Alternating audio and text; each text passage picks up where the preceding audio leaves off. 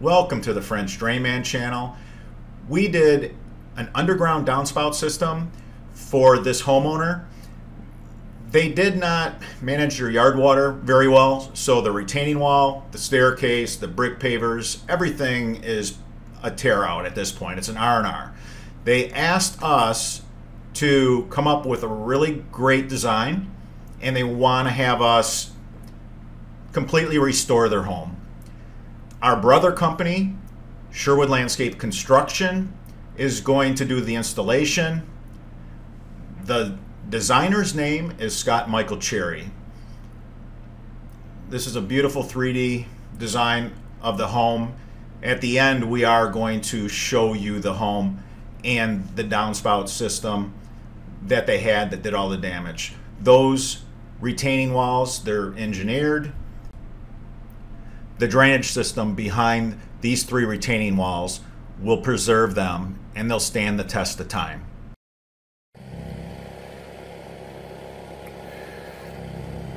We are yard drainage contractors. We're installing underground drainage system. We're burying downspouts.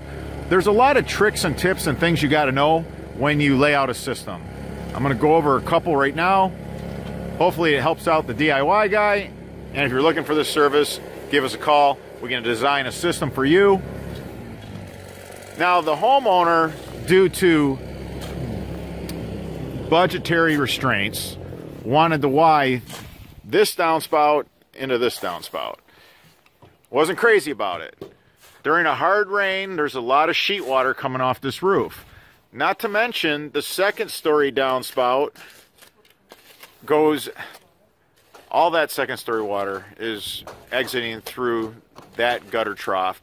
So this downspout has already so much water that it's responsible for. It's just ridiculous.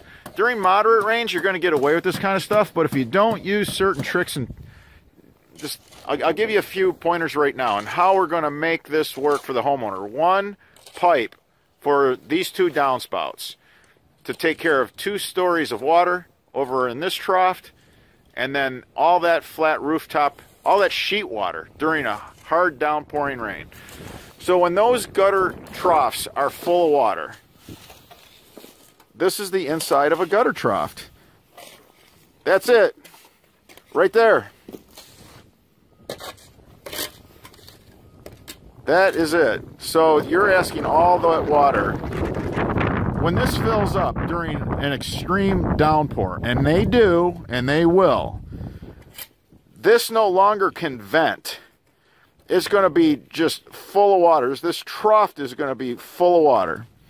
So we want to move this water as fast as we possibly can. So here's a trick that we use. We vent the downspout here. This works really, really amazing you're going to pick up a lot more speed. Velocity is key. Velocity is what you're after. It's a gravity powered system. When the water falls off the roof down into this underground drainage system, you don't want to lose the velocity that you have picked up. You don't want to lose it to a poorly vented system. You don't want to lose it to a pipe that this particular technique that we're using, you don't want to use a single wall corrugated pipe. You want to use dual wall. And the difference is, there's your single wall. It's You can see how it's got the valleys inside it. You'll lose velocity due to those valleys. On a short run or a run with a lot of pitch, it don't matter. They work great. But we have a long run so we're going with the smooth wall. Corrugated on the outside, smooth on the inside. This is dual wall. So that combined it with the venting and when you vent this I know that the NDS they fit in these Ys and that's what we're using you know for a Schedule 40 system, PVC Schedule 40, like an industrial system, I'll use the NDS. They do fit better. But for a corrugated Y, I like the Polylok. The Polylok snaps in here, fits really, really nice. That is a great way to vent a downspout system. This is a great way to combine downspouts and move the amount of water necessary to prevent it from backing up up top at the roof and then pouring over, causing all kinds of, kinds of damage. Matter of fact, to show you what it was doing, here's a failed retaining wall. Now, there's going to be thousands and thousands of dollars to make this right. But first we had to correct the drainage.